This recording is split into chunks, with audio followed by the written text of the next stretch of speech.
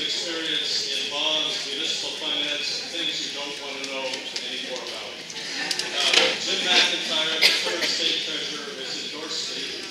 Running a statewide though is daunting, except that you see what a beautiful state we have.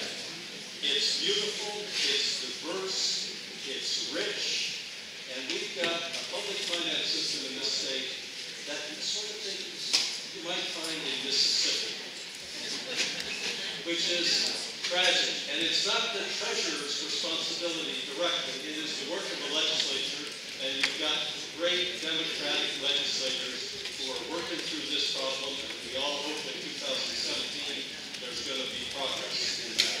But a treasurer, the treasurer can have a major impact